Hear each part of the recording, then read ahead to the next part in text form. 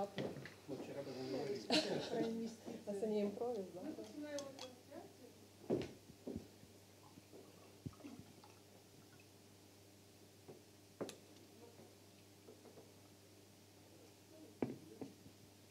Добрый день, коллеги, приветствую вас. А, Благодарю а, всех присутствующих, всех, кто подключился онлайн. Мы благодарим вас за то, что, несмотря а, на все тревожные обстоятельства, вы нашли время и пришли на нашу пресс-конференцию.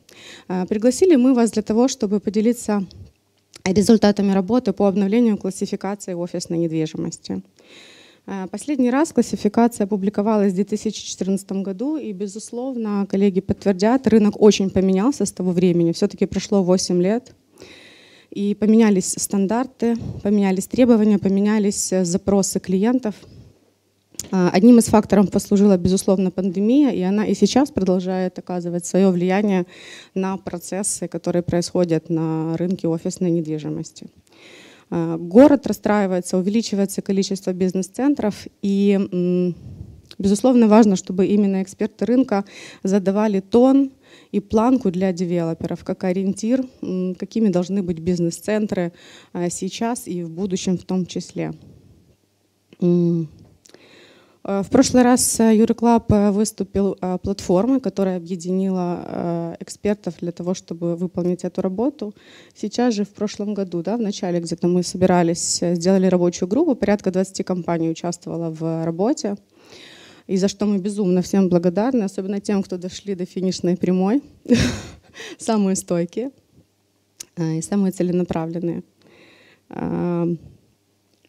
Финальную версию презентации э, можно будет скачать на э, сайте Euroclub. Э, Она будет представлена там 1 февраля. В том числе, включать она будет в себя абсолютно все параметры. Это CBD, все технические характеристики, особенности, когда она начинает действовать, и все спорные моменты для девелоперов. Сейчас же я хотела бы дать слово нашим спикерам для того, чтобы немножко поговорить, чем отличается предыдущая э, версия 2014 от 2022 и представить э, вам наших спикеров. Первым даю слово Радомир Цуркан, управляющий партнер Сибирия Ukraine. А, Добрий ранок. Я розумію, що зараз, мабуть, для більшості е, ця наша тема не на часі, але так е, вже склалося, що ми дійшли до цього результату вже і готові його презентувати е, всій спільноті, бізнес-спільноті. А також хочу від себе теж подякувати за цю довгу працю, за ці дебати, дискусії, які були ще на протязі того року.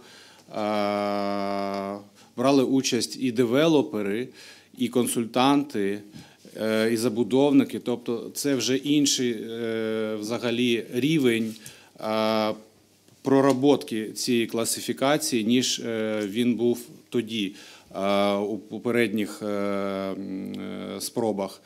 А чому е, важлива взагалі ця тема зараз? Ну і чому це так актуально? Ми вважаємо, тому що навіть е, у 2014 році, коли була остання.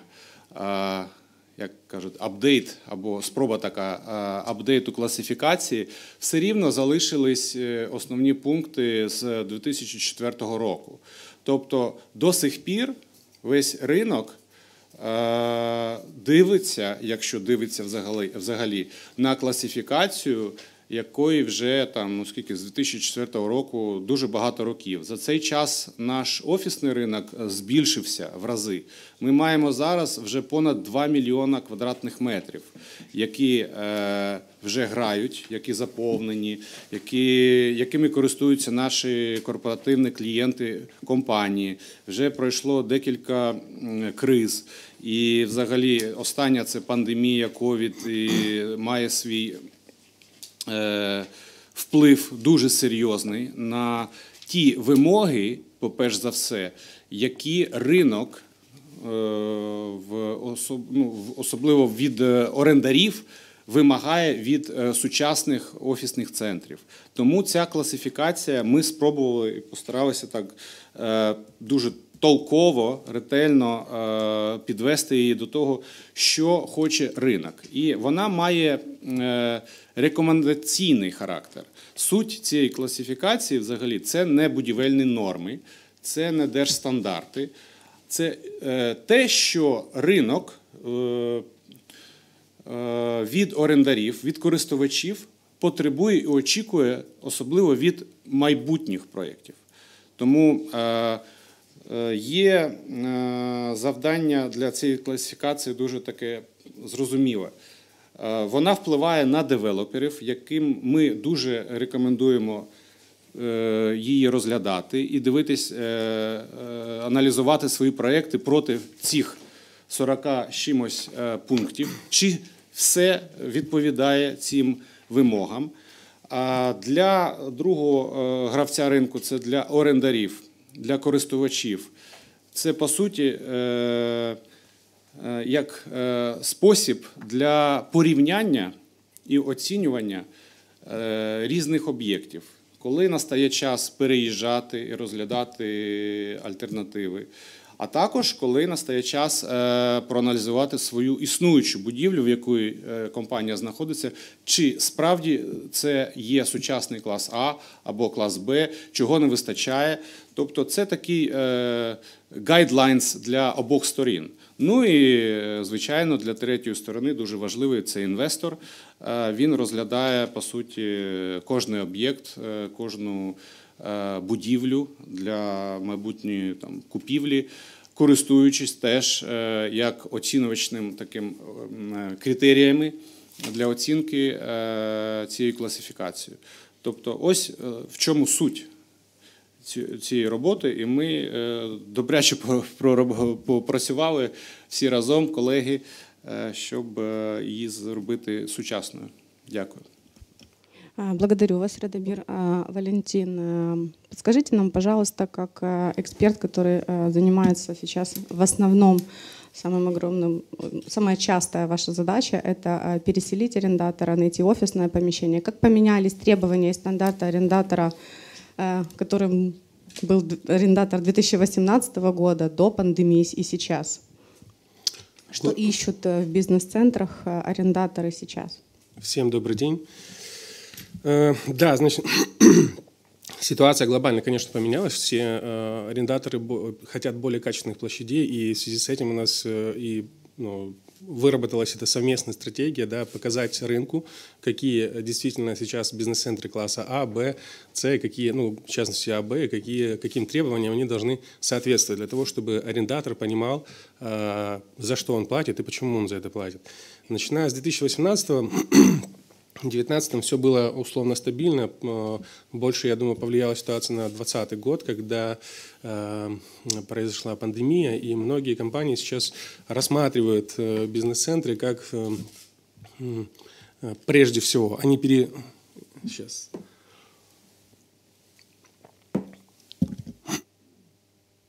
Прежде всего они переезжают из класса С э, или в каких-то, находились в каких-то административных зданиях или раз- э, разрозненно в разных бизнес-центрах, переезжают в бизнес-центры класса А, потому что у них есть возможность фактически за те же деньги арендовать офис э, в бизнес-центре класса А. Такая тенденция наблюдается, и это одна из, это, как правило, IT-компаний, а вторая тенденция – это то, что международные компании, которые ран- ранее арендовали офисы в бизнес-центрах класса А, которые по старой классификации такими назывались, да, учитывая э, современные нормы, которые мы выработали, я думаю, что большинство из них, ну, или какая-то часть все-таки перестанет называться наконец-то классом А.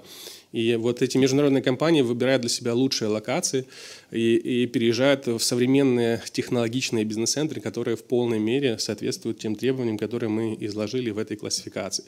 А, В качестве примеров из э, таких сделок могу привести. Сейчас расскажу. И так, у нас есть, э, например, Intellis. Да, они сидели в разных локациях, и они переехали все вместе в один бизнес-центр в Лувр. Э, Google переехал в Магнит. Э, Он, по сути, сидел в старом, ну, достаточно старом здании. Все позиции Regus, это коворкинги IWC, они переезжают со старого класса бизнес-центров, ну, старых бизнес-центров, которые э, А, Б класс переезжают более современные. Э, Э, из, э, у нас есть такая большая компания, которая как раз сидела в классе С, условно, они разро- разрозненно сидели в разных локациях, в административных зданиях в том числе. Они все вместе переехали в одно классное, в один классный бизнес-центр на Ильиновской, э, 23. Вот. И э, сейчас тренд что такой, что большие IT-компании переезжают в современные БЦ с использованием внутреннего коворкинга. Да. Это, на это большей части повлияла э, пандемия, то, что большая часть айтишников работает удаленно, и им нужно такие флекс-офисы, где бы они могли собираться все вместе и работать. Вот. Э, Правильно я вас понимаю, что основные два тренда, о которых вы говорите, это э, арендатор стал требовательнее, потому что следит за своим здоровьем, за безопасностью, как отражается рабочее пространство э, Да. на здоровье клиента. Это первое. И второе, э, меняется tenant микс самого бизнес-центра, и там появляются флекс-офисы как э, часть инфраструктуры. Да, в том числе у нас даже были кейсы, когда IT-компания запрашивала не только э, количество воздухообмена в офисе, а еще и уровень влажности, потому что для их сотрудников, которые постоянно сидят за мониторами, важно, чтобы там был достаточный уровень влажности, чтобы им было комфортно и у них не болели глаза. Вот даже так. Да. Мы в классификации уровень влажности, по-моему, не учитывали, но э, это было тоже спрашивают. Было много спорных моментов, и децибелы в шумоизоляции, Да, да. и нормы инсоляции в том Да. числе, но мы не можем переносить в классификацию абсолютно все нормы ДБН. И на самом деле мы это обсуждали, и буквально даже вчера, о том, что наша классификация не должна ее, а, дублировать, б, а, в некоторой степени она на самом деле требовательнее, э, и завышены стандарты в нашей классификации. Они, си- они э, выше, чем в нормах ДБН на сегодняшний момент, потому что законы принимаются очень долго. Пока э, ин- ДБН об инклюзивности приняли, бизнес-центры уже начали это Ну, я внедрять. хочу додати, що у нас взагалі немає там окремих якихось там ДБНів або стандартів для офісів. Навіть таке поняття, як офіси, воно ну це но- до сих пір нове для е, е, державних стандартів. Тому нами ми повинні цим займатися. Це е, це глобальні тренди. Тобто в кожному ринку, в кожній країні є класифікація. Вона і повинна бути тут, тому що в Києві вже, як я казав, понад 2 мільйони квадратних метрів. Щось треба вже е, більш сучасне е, розробляти, щоб було як гайдлайнс для майбутніх проєктів. Дякую. Прежде всего, мы как э, OLBC, маркетплейс для офисов, для бизнес-центров, э, хотим стандартизировать э, в целом понимание такое, что такое А, Б класс, потому что сейчас ситуация такова, что многие бизнес-центры, собственники называют себя А-классом, на самом деле ему не соответствуют, да, и поэтому есть вот эта э, э, стандартизация, которую мы изложили все как профессиональный рынка, для того, чтобы э, им соответствовали все игроки. Благодарю, Валентину. У Марти є коментарі. Хочу додати е, з приводу е, потреб орендарів, потреб тих компаній, які займають офіси, які використовують офіси. Дуже важливий момент. Якщо раніше офіси це було таке зрозуміле для всіх, е, зрозуміле для всіх простір, куди ти приходиш на роботу. Тепер велика задача в умовах ковіду і в інш і в умовах інших викликів, які виникають, зробити так компаніям і також девелоперам, які створюють ці офісні простори, щоб люди мали мотивацію прийти саме на роботу, саме в офіс, а не працювати з дому, тому що технології розвинулися дуже прогресивно. Ми розуміємо, що вдома часто комфортніше працювати, але водночас в багатьох компаній, як ми знаємо, минулого року, цього року є багато викликів, які е, виникають. е, На фоні того, що люди працюють з дому, тобто так у деяких випадках зростає ефективність, у деяких випадках е, знижується ефективність, але офіс це дуже важливий фактор, інструмент для компанії для того, ж- щоб самоідентифікуватися.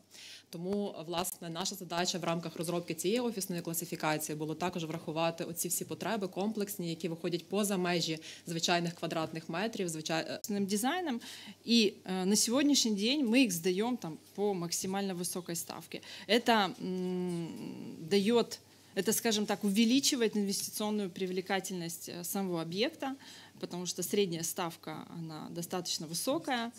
Э, Помимо э, инвестиций в какие-то э, технические да, моменты, мы следим за технологиями, идем в ногу со временем, инвестируем в это. В частности, много внимания уделяем системам безопасности, это как пожарная и охрана, инвестировали когда-то в создание там, собственного клининга, потому что для нас очень важно, чтобы арендаторы чувствовали себя там максимально комфортно в, в офисе. Поэтому важно еще наладить правильную коммуникацию. Мы внедрили ERP-систему, которая э, позволяет наладить правильное взаимодействие с арендаторами, э, а также э, учитывать время затраты там, каждого нашего сотрудника. Мы инвестируем в атмосферу, дьявол кроется в деталях, поэтому важно там, от, там, от момента парковки со всеми возможными видами транспорта, там, как только мы поняли, что самокаты э, э, появились в массовом э, использовании, мы поставили там, например, парковку для самокатов. Но я уже молчу про электрозарядки, которые мы тоже инвестировали и доставляли в процессе, когда поняли, что спрос на электрокары растет, и нам необходимо иметь какой-то запас в здании. Мы инвестируем в Э, наши, в наших инфраструктурных арендаторов. Это там жесткий отбор, э, это э, знаете, обязательно нужно, чтобы был вкусный, там, качественный кофе-плейс, качественная столовая с бюджетными ценами, ресторан.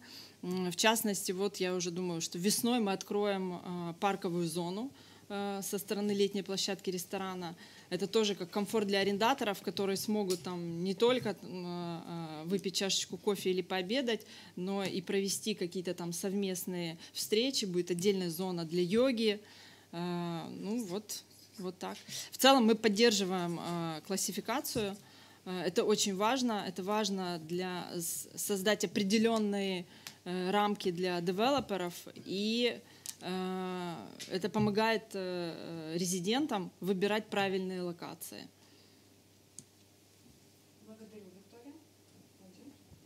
А, благодарю вас. А, сейчас к нам присоединился еще один спикер. А, хотела бы передать слово Татьяне Деркач, руководителя направления коммерческой недвижимости компании «Тергалбуд».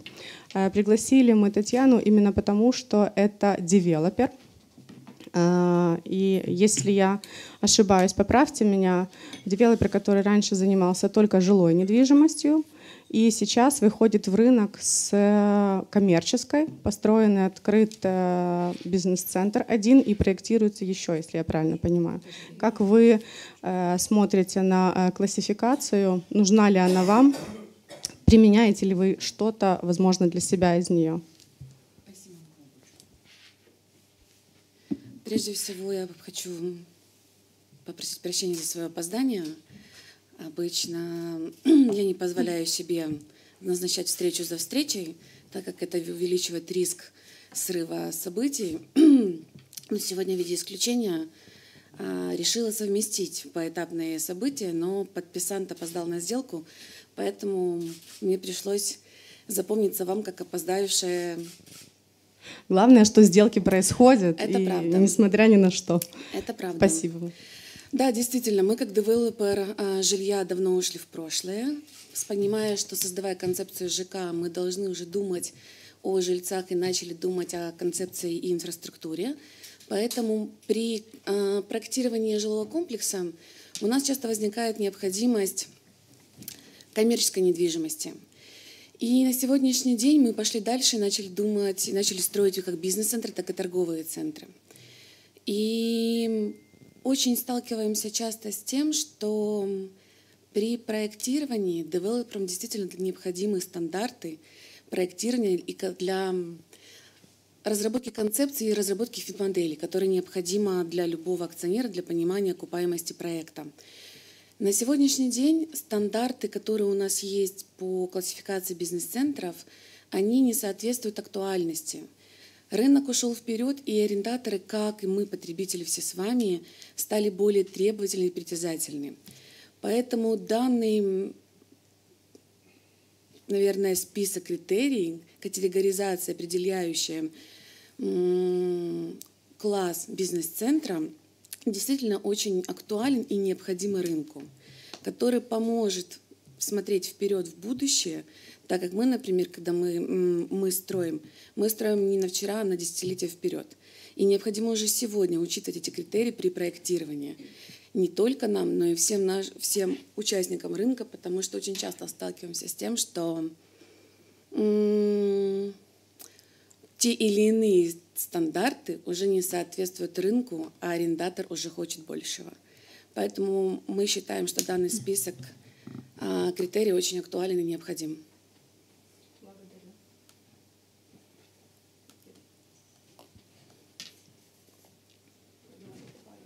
Я можу. Да, прокомментируй, пожалуйста. Я Я представник компанії Cushman Wakefield. Раніше в Україні ми були діті DTZ.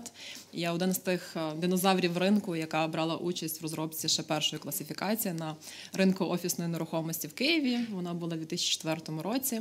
Була прийнята на базі платформи American Chamber of Commerce. Пізніше була е, прийнята гравцями на базі е, платформи European Business Association.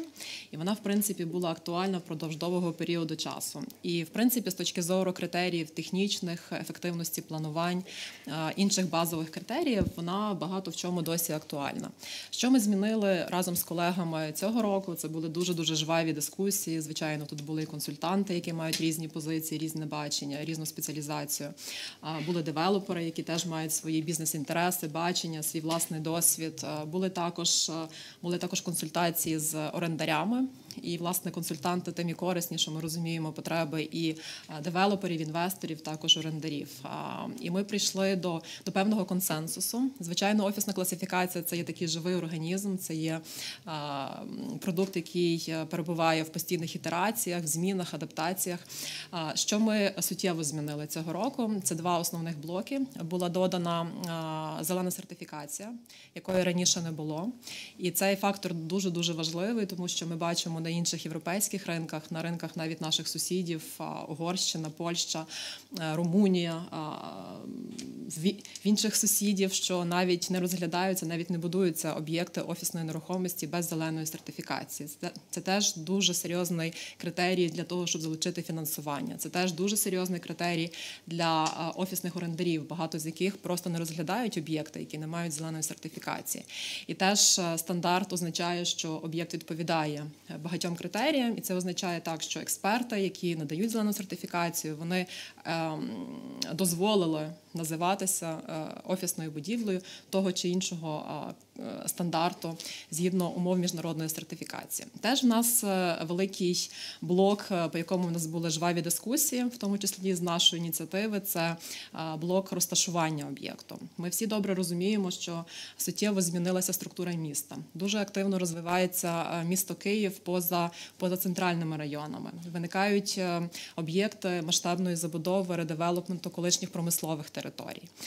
Власне, е, цього разу зараз ми розширили межі центрального ділового району, і колеги з Уреклабу поділяться цією інформацією. Чому? Тому що ми дивилися на концентрацію об'єктів, дивилися на розвиток інфраструктури соціально-побутової, торговельної, на транспортну доступність і і на преміальність. Це така суб'єктивна оцінка, але ми колегіально вирішили так, це центральний діловий район. Але е, ми відійшли е, від критерію, що е, центра... що об'єкти класу А можуть розташовуватись лише в центральному діловому районі. Також зазначу, що раніше була внесена така правка і в стару класифікацію, де в нас були ем, об'єкти класу А в е, CBD, в центральному діловому районі Central Business District, і е, об'єкти класу А поза центральним діловим районом. Е, Цього року ми взагалі не зазначаємо приналежності і розташування в центральному діловому районі як критерій. Ми е, натомість розділили критерії розташування на три е, критерії: це близькість до станції метро. Це дуже важливо в умовах міста Києва, де е, можливість доїзду до станції метро суттєво полегшує і покращує привабливість. Також метро є досить таким екологічним транспортом, не забуваємо про це. Теж е, другий критерій по локації це є е, розвинутість е, соціально-побутової торговельної інфраструктури в районі розташування об'єкту. Це теж дуже важливо. Ми розуміємо, що якщо район не розвинутий, немає об'єктів для того, щоб задовільнити потреби офісних орендарів впродовж робочого дня. Він не працює як офісна локація, або девелопер, інвестор повинен суттєво інвестувати в такі об'єкти і часто е, е, на принципах субсидіювання. Тобто це є та функція, яка не приносить суттєвої дохідності, але підвищує привабливість е, офісної нерухомості для е, офісних орендарів і підвищує можливо досяжну орендну ставку. І третій критерій, який ми залишили, це є якість транспортної розв'язки. Це знову таки досить таки суб'єктивний е, критерій. Ми довго вели дискусії, яким чином сформулювати. Ми вважаємо, що ми сформулювали максимально оптимальним варіантом. Та оцінюємо, що ставка доходності це 11,5%. Для порівняння на кінець минулого року.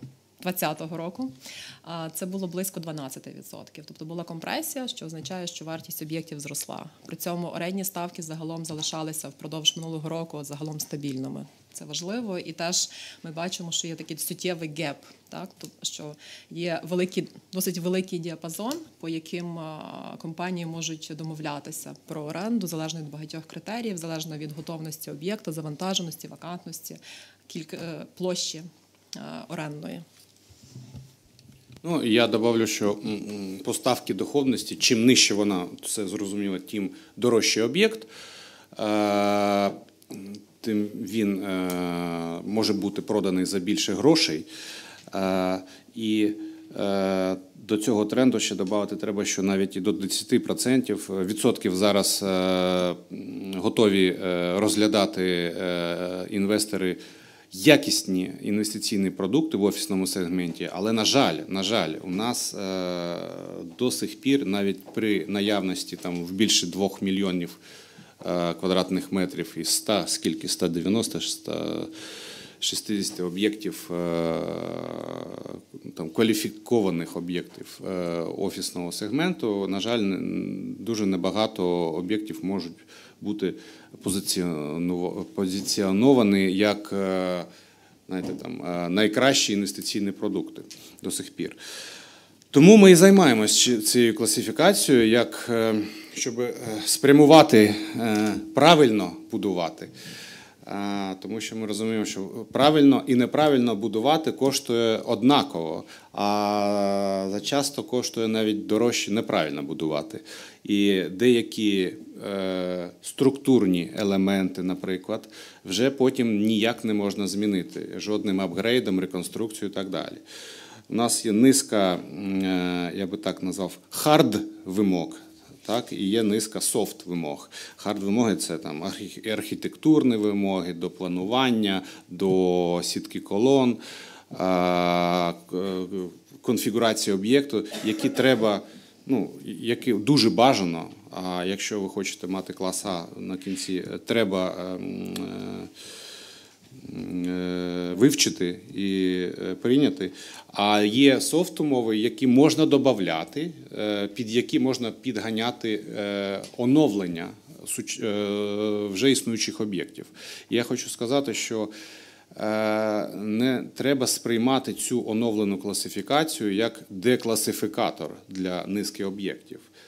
Е, Вивчити, будь ласка, подивитися на неї. Е, Навіть є можливість, е, щоб е, деякі об'єкти е, утримувались довше е, в класі А, тому що ми тут е, змінюємо ну тут флексибл умови. Ми змінюємо деякі параметри на- користь, навіть так виходить, що на користь е, там нецентральних об'єктів і так далі. Е, Але дуже важливо, що ми зараз е, тут в нової класифікації, наприклад, додали таку, е, такий пункт, що будівля цього не було раніше. Від самого початку має бути спроєктована та побудована як бізнес-центр. Або відбулася її капітальна реконструкція з наступним перепрофілюванням у бізнес-центр. Тобто вона має ізначально цю цю єдину концепцію єдиного об'єкту, а не що він потім по клаптиках розходиться і будь ну, як там кожен там е, кожна частина живе своїм життям. А, Я правильно понимаю, что это может относиться и к объектам, а, которые сейчас все больше и больше появляются, это реновация и ревитализация? Так, точно. Так- Тут так немає у буває, нас да. такої, такого виключення, що це А-клас має бути тільки нова, збудована з нуля будівля. Потому что земля заканчивается, но остаются объекты, которые э, меняют свою концепцию, смысл и значение. Будь ласка, якщо підходить конфігурація існуючої будівлі, ви її залишаєте, але всю начинку, все е, інфраструктуру робите згідно цим специфікаціям і маєте сучасну будівлю. Поступил ще вопрос, яка різниця у ціні за квадратний метр може бути між класами А та Б, виходячи з нової класифікації, хоча б приблизно. Хто готовий? Да, она уже, в принципе, собственно говоря, есть. Это классифи- э, э, и мо- может достигать в некоторых случаях и там 40-50%. Все зависит, опять-таки, от того, как... э, Да, да, я здесь. Все зависит от того, как раньше, как себя называет бизнес-центр, да, и есть те, э, те, те бизнес-центры, которые называются классом А, а на самом деле они Б, и поэтому они стоят там не 28, это high price, который да, для новых локаций, они могут стоить и 15-18 долларов. Вот. Э, Ну, это уровень ставок там э, Б-класса от 12 до 18. Татьяна, как э, вы формируете ценообразование в своих бизнес-центрах? На сегодняшний день, наверное, как у большинства бизнес-центров, не будем скрывать, формирование, без формирования арендных ставок – это исключительное проявление спроса либо его отсутствия. Это как первый основополагающий фактор формирования арендных ставок. На сегодняшний день, учитывая, что у нас есть два существующих новых бизнес-центра, которые в активной стадии заполнения, один уже могу порадовать на завершающей стадии заполнения, а второй на, наверное, 50-процентной. Ам, Каждый район имеет эм, свой спрос. Категоризация бизнес-центра имеет свой спрос.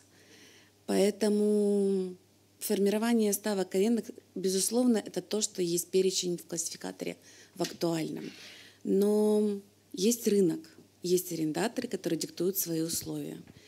И если сейчас, например, рынок недвижимости находится в, в стагнации, и арендаторы диктуют эм, их дефицит, суще- существенный дефицит, то мы исключительно отталкиваемся от того количества запросов, которые есть на рынке. Поэтому, невзирая на то, что у нас есть, где этот объект расположен, в каком он состоянии, в каком ремонте, в какой площади, на каком этаже, с каким бы это ни было сногсшибательным видом на Днепр, все равно цена будет формироваться исключительно от спроса. Если мы говорим о наших бизнес-центрах, э, это Печерск и Подол, то Подол у нас сейчас э, в пределах 18 долларов плюс-плюс. Мы говорим плюс-плюс, это значит плюс ОПЕКС, плюс эксплуатационная ставка, плюс НДС.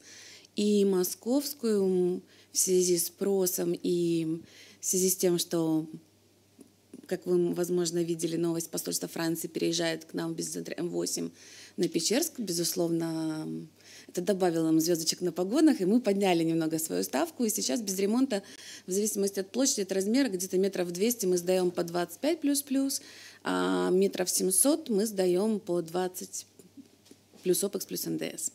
Поэтому, безусловно, конечно, я знаю, есть объекты, которые сдают дороже, есть объекты, которые сдают дешевле.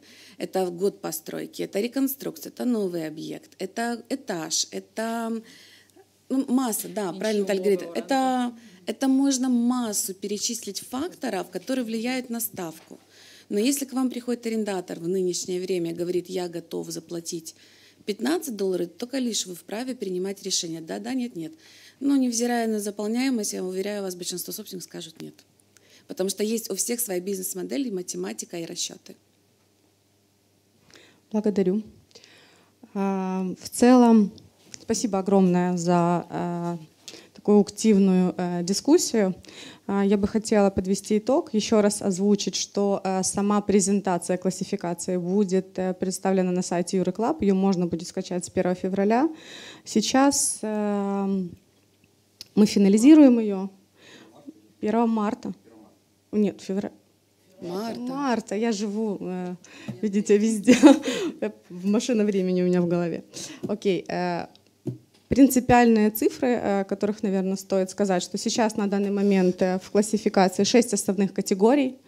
э, 46 из- критериев, из них 37 являются обязательными для класса А.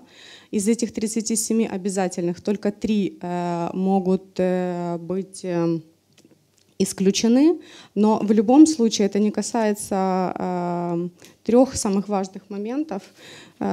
Поправьте меня. Первое это касалось транспортного раз- э, размещения, да, метро или транспортная э, инфраструктура. Второе, э, э, бизнес-центр должен был управляться, э, это касается property и facility management, то есть арендных отношений, сервисных, только одной э, управляющей компанией, то есть объект не должен был быть разорван на блоки и э, управляться э, профессионально. И третий э, обязательный критерий — это была централизованная э, вентиляция. Управление инженерными системами. Да, Управление инженерными системами. управление инженерными системами, но это касалось больше централизованной э, вентиляции и кондиционирования. В целом, э, все остальные детали вы уже сможете увидеть э, в презентации. Благодарю всех за такое активное участие. Спасибо большое. Да, конечно. Мы активно как раз обсуждали этот вопрос вчера, что сейчас такая тенденция, что многие э, открывается такой инвестиционный рынок в квадратные метры в недвижимости. Многие перестают покупать э, квартиры, а вкладывают и бизнес-центры тоже начинают продавать свои офисы э, частями, блоками. Мы пришли к тому, что такие бизнес-центры тоже могут быть и условно и А, Б классом, только они должны управляться единой э, профессиональной компанией. Вот. Дякую.